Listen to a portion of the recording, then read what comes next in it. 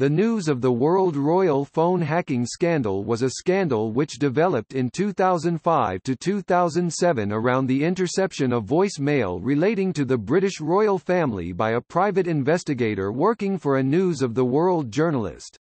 It formed a prelude to the wider News International phone hacking scandal which developed in 2009 and exploded in 2011, when it became clear that the phone hacking had taken place on a much wider scale. Early indications of this in the police investigation were not followed through, and the failures of the police investigation would go on to form part of the wider scandal in 2011. In August 2006, the News of the World's royal editor, Clive Goodman and a private investigator, Glenn Mulcaire, were arrested by the Metropolitan Police, and later charged with hacking the telephones of members of the royal family by accessing voicemail messages, an offence under Section 79 of the Regulation of Investigatory Powers Act 2000. On 26 January 2007, both Goodman and Mulcaire pleaded guilty to the charges and were sentenced to four and six months imprisonment respectively. On the same day, it was announced that Andy Coulson had resigned as editor of the News of the World.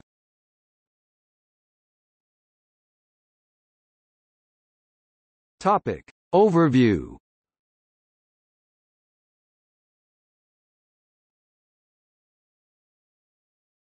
Topic. Background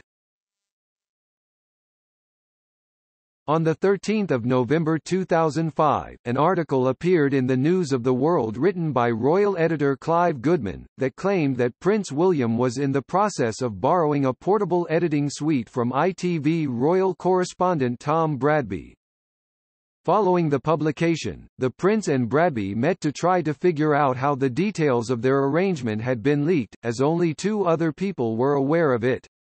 Prince William noted that another equally improbable leak had recently taken place regarding an appointment he had made with a knee surgeon. After some discussion, the Prince and Bradby concluded it was likely that their voicemails were being accessed. Their concerns were passed to the Metropolitan Police, who set up an investigation under Deputy Assistant Commissioner Peter Clark, who managed the Counter-Terrorism Command. Clark reported to Assistant Commissioner Andy Hayman, commander of the Specialist Operations Directorate. The reason the investigation was passed to Hayman and Clark, was that Hayman's command included the Protection Command, under whom SO-14 provide all royalty protection. Clark's investigation began as a localized incident involving staff at Clarence House, but the compiled list of possible victims broadened to include, government ministers, a member of parliament, military chiefs, a leading media figure, premiership footballers, and celebrities.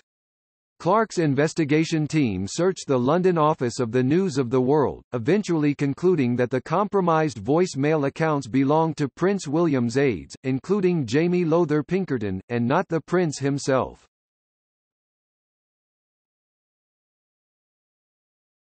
Topic. Goodman and Mulcaire trial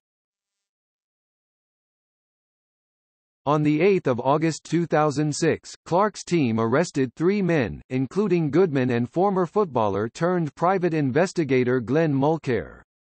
After releasing the third man, in consultation with the Crown Prosecution Service, Goodman and Mulcaire were charged with hacking the telephones of members of the royal family by accessing voicemail messages, an offence under Section 79 of the Regulation of Investigatory Powers Act 2000.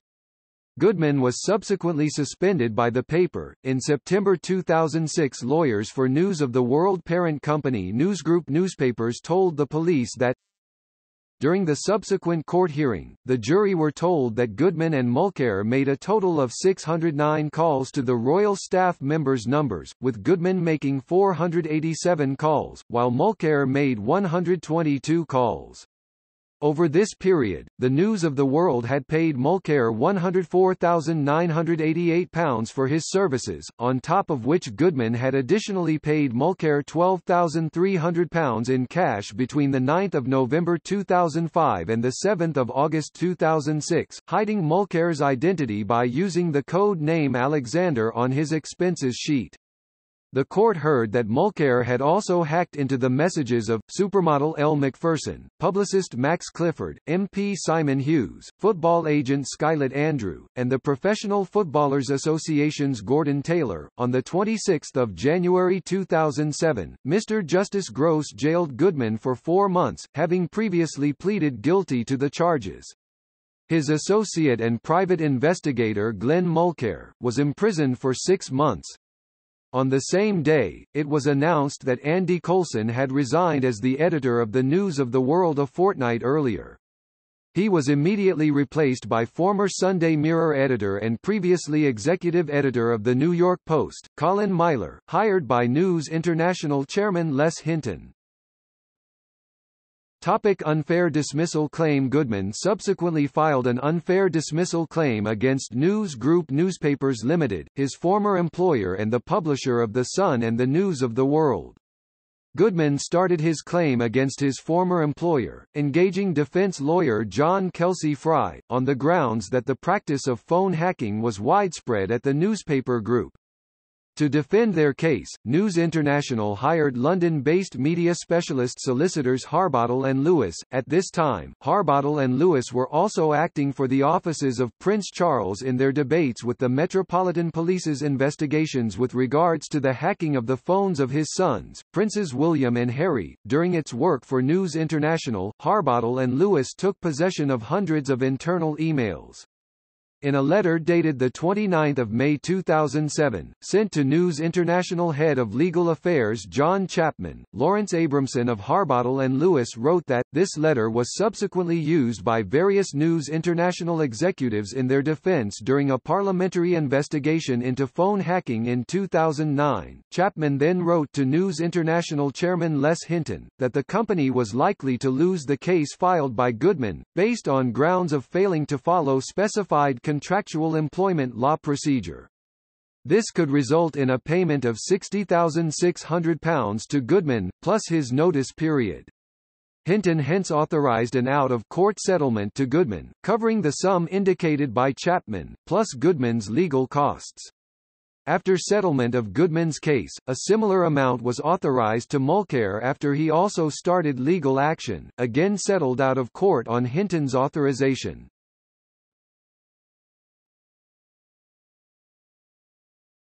Topic. See also. News media phone hacking scandal. CTB News Group newspapers. List of alleged victims of the News of the World phone hacking scandal.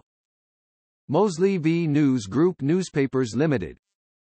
Politico Media Complex. Sheridan v News International